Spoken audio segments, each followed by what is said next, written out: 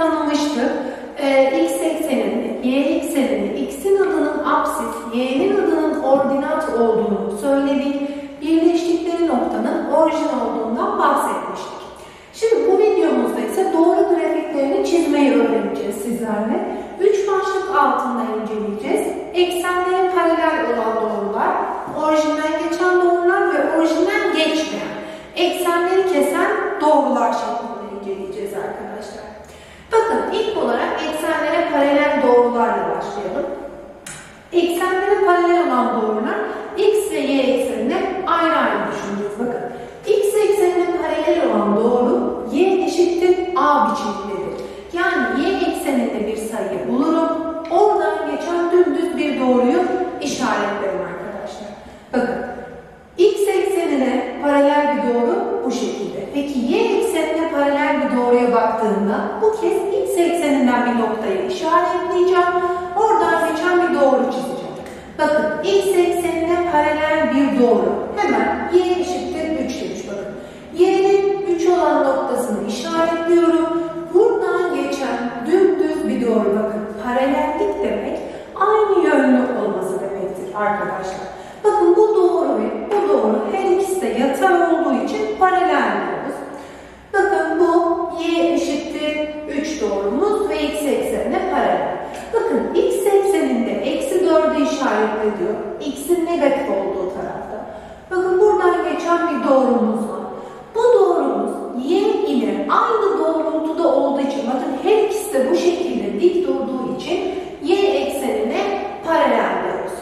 Ee, doğrular çizildikten sonra bölgelerle oluşturduğu alanları sorabilir bize.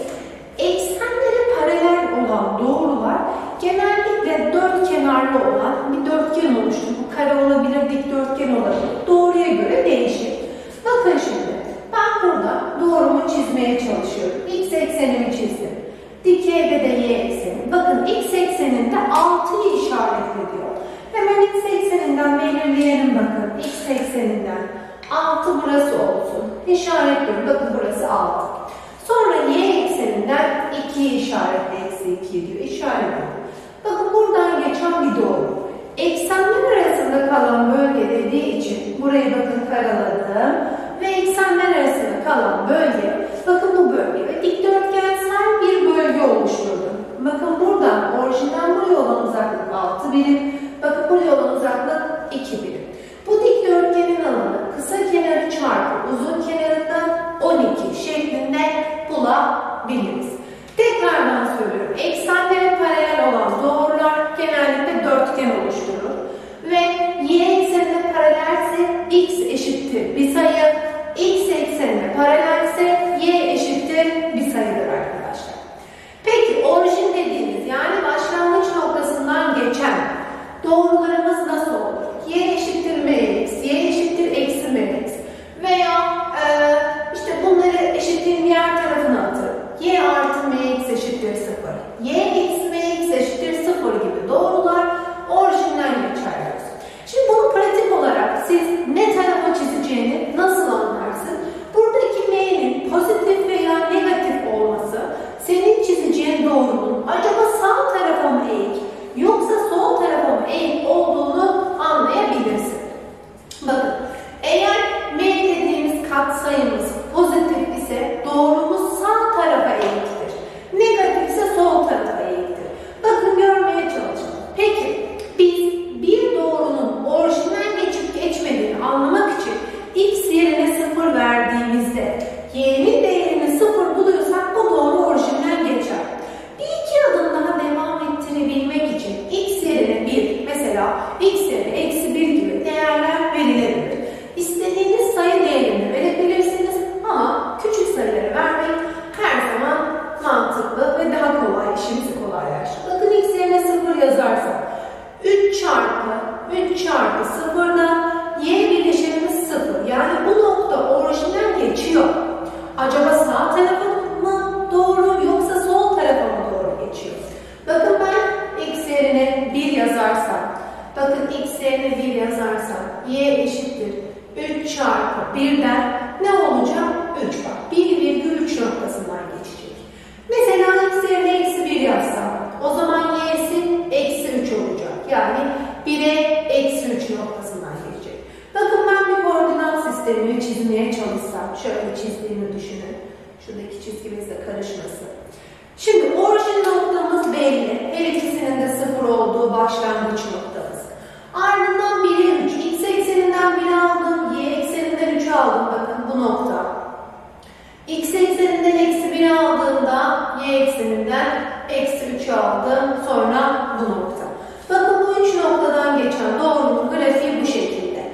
Ve yönünün sağ tarafa doğru eğik bir doğru. Nereden anlıyorum? Buradaki katsayımız pozitif. Bakın illa bu şekilde verilmek zorunda değil. Yani art, y artı eksi m x eşittir sıfır kalıbında da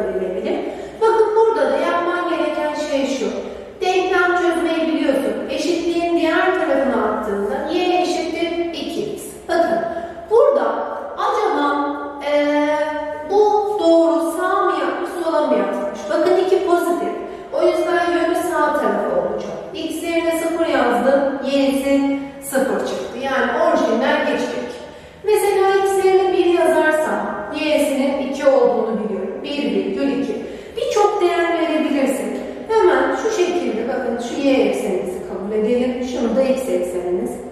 Bakın orijinden geçen doğru. Hemen orijinin noktasını işaretliyorum. Ardından e, 1'e 2 noktası, mesela 1'e 2 noktası bu nokta. Eksi 1 verseydim de eksi 2 çıkardı. Bakın yine bu üç noktadan geçen doğrunun grafiği sağ tarafa gittik. Bizim örneklerimizde M'nin pozitif değerlerini kullandım. Eksi olsaydı da tam tersi doğrumuzun yönü bu şekilde olurdu. Peki gelelim orijinden geçmeyen doğrulara. Yani x eksenine y eksenini kesen doğrular. Biz bu şekilde bir doğruda bakın genel denklemi ax artı by artı c eşittir 0 şeklindedir. a ve b yani x ve y'nin katsayıları sıfırdan farklı olacak. Burada x yerine 0 vererek y değerini, y yerine 0 vererek x değerini buluruz arkadaşlar. Şimdi 2x artı y eşittir eksi 4 doğrusunu çizmemizi istiyor bizden. Bakın ne yapalım? Hemen x gördüğümüz yere 0 veriyorum. 2 çarpı 0 artı y eşittir eksi 4. y'miz ne çıktı burada?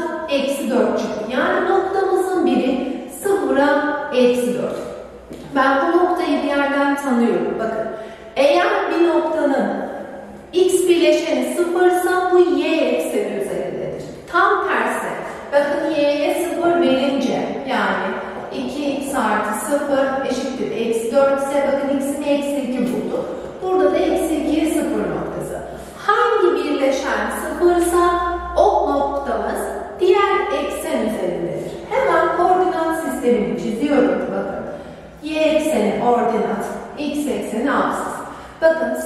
Eksi 4. 0'a eksi 4 noktası y ekseni üzerinde. Burada bir nokta olsun eksi 4. Ee, eksi 2'ye 0 noktası. Bakın burada bir nokta olsun. Bu iki noktadan geçen bir doğru denklemi. Genellikle de bakın eksenleri kesen doğrular üçgensel bölge oluşturur. Burada da üçgen alanını hesaplamayı biliyoruz. Bir de dikkat edeceğimiz nokta eksi 2 ya da bir taraf artı olabilirdi. Alan bakın uzunluktan bahsediyoruz. Hiçbir zaman negatif bulmayız. Bakın bunun başlangıç noktasına olan uzaklığı 2 birim, buraya olan uzaklığı 4 birim. Ve ben ilk koordinat sistemi dediğim için burada bir dik üçgen oluşuyor. Bakın bu üçgensel bölgenin alanı, bir üçgenin alanı birbirine dik olan kenarları çarpıp ikiye bölerek bulur. Böldüğümüzde cevabı 4 olarak bulduk. Bakın bu videomuzda grafiklerden bahsettik. Ee, eksenlere paralel grafikler, orijinden geçenler ve orijinden geçmeyenler. Eksenlere paralel olan grafikler genellikle iki grafiği birleştirdiğinde bir dikdörtgensel ya da dörtgensel bir bölge oluşuyor. Orijinden geçiyorsa x yerine 0 koyduğumuzda y'si 0 oluyor. Orijinden geçmeyen doğrular ise genellikle bir üçgensel bölge oluyor arkadaşlar. Ee, bir sonraki videolarımızda görüşmek üzere. İyi çalışmalar arkadaşlar.